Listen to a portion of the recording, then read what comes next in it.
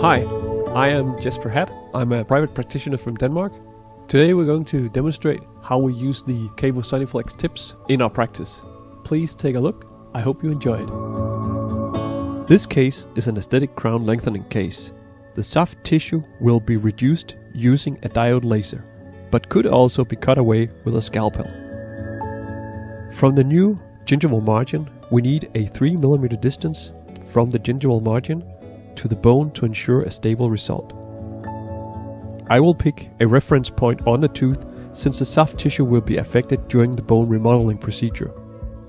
To reshape the bone, we can choose to raise a flap or we can use the SONICflex crown lengthening tips and perform a closed procedure. The SONICflex crown lengthening tips are available in two different diameters and two different angulations. The tip is only coated with diamonds on the end facing the bone. This way, you are able to cut the bone without damaging the root surface.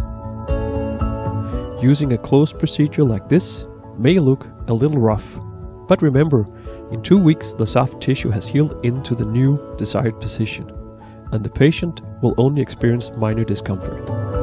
Thanks for watching, hope you enjoyed it. For more info about the KaVo SONICflex tips, please go to the website kavo.com. Have a nice day.